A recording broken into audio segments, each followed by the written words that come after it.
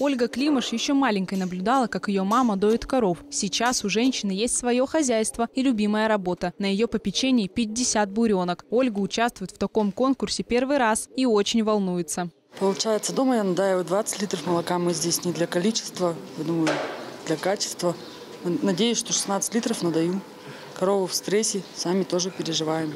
Переехала первый раз на конкурс, очень сильно переживаю.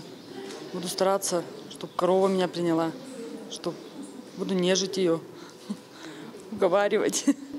На районный конкурс профессионального мастерства приехали 9 сильнейших участников. Операторы машинного доения и техники по искусственному осеменению сельскохозяйственных животных состязались за звание лучшего. Соревнования разбиты на этапы. Команды из трех человек по станциям занимались привычным для себя делом. Собирали специальный аппарат и доили корову. В мероприятии принял участие и мэр Иркутского района Леонид Фролов. Он подчеркнул, что такой конкурс проходит всего раз в два года, и он очень важен для профессионального роста специалистов.